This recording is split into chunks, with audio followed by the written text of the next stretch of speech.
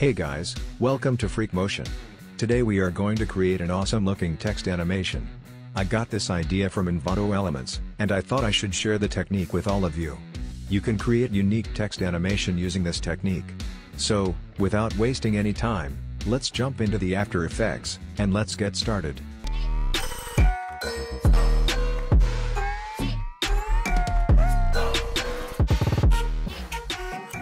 Before we move forward to the video, it will be awesome if you hit the subscribe button, also press the bell icon to get the all the latest update.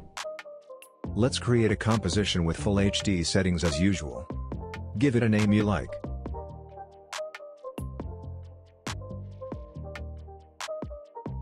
Now, take the type tool, and type a text.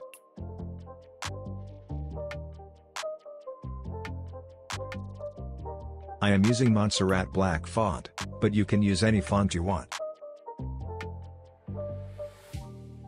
Make sure paragraph setting is centered, and align the text to the center. Now open the text layer, click on this animate button, and add position. Then click on this add button, and select tracking. And also select opacity. Now change the position something like this. Decrease the tracking amount to a negative value, so that it squeeze like this. And also turn down the opacity to 0. Then open range selector 1, and add a keyframe on start. Then go forward to 1 second, and change its value to 100. Select the keyframes, and press F9 to easy ease them. Open Graph Editor, and change the graph something like this.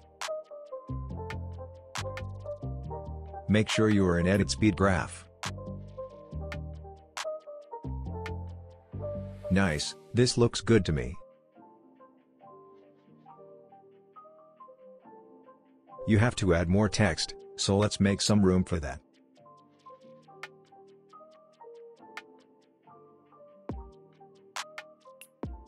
Now select the text layer, and press Ctrl plus D two times, to make two copies of this.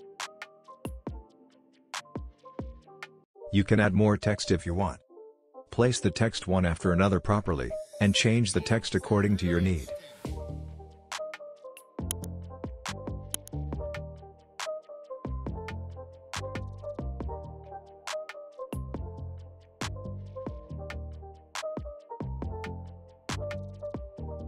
For the middle text, I just want a stroke.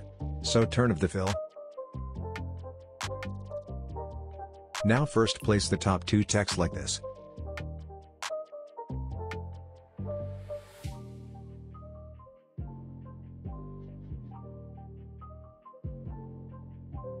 Then select both layers, and press P to open position property. On 1 second, add a keyframe on position. Then go forward to few frames, and change the text position something like this.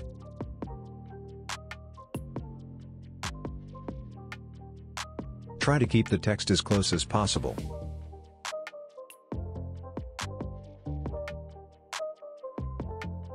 Now select all the keyframes, and press F9 to easy ease them.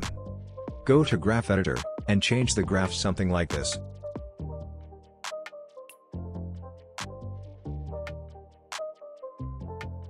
By doing this it will look snappy. Don't change the position if you already applied keyframe on position. It will affect the animation. Let's add some speed lines to make it look good. Take the pen tool, and draw a straight line like this. Change the stroke color to white. And turn off the fill. Adjust the stroke width a little bit.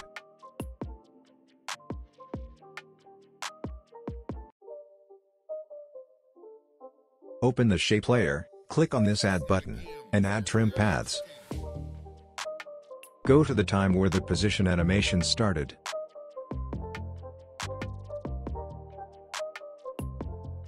Now, turn down both value to 0, and add a keyframe on both. Then after few frames, change both value to 100. Now offset this first keyframe by few frames. Then you can see the animation.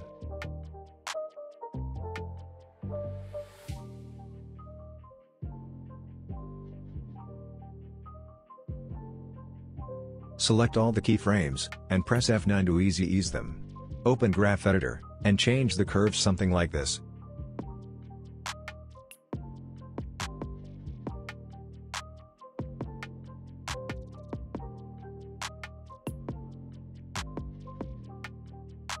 You can add some dashes and gaps, to make it little bit different from the basic lines.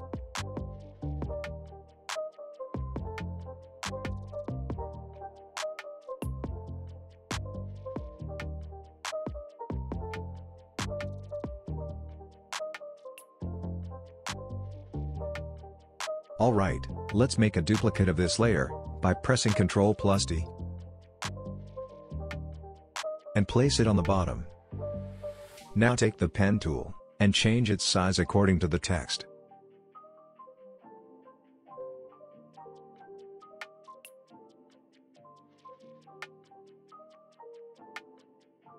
Perfect.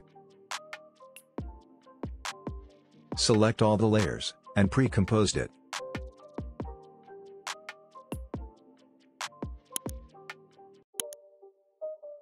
Now you can change the position and scale according to your need.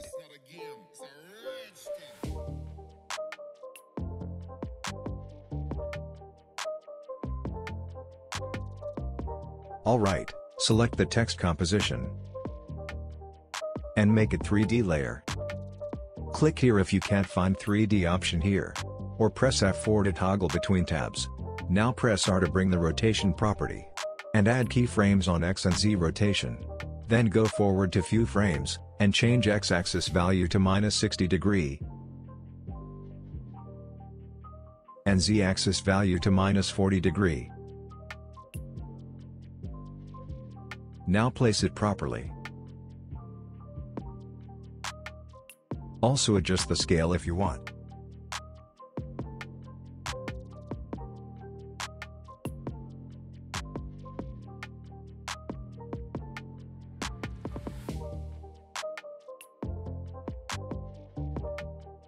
Then select the keyframes, and press F9 to easy ease them. Go to Graph Editor, and change the curve something like this. Perfect. You can always play with the rotation to get some different results.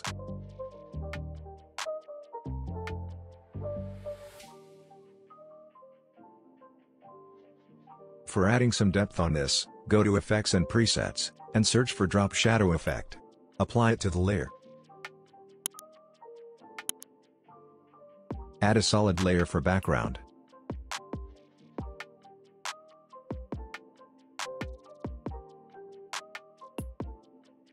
Add fill effect on the background layer to change its color.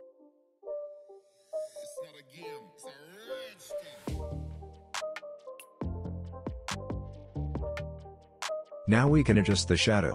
Play with the values to get your desired effect. I think dark gray color looks much better with this type of designs. So this is all for today. Thanks for watching.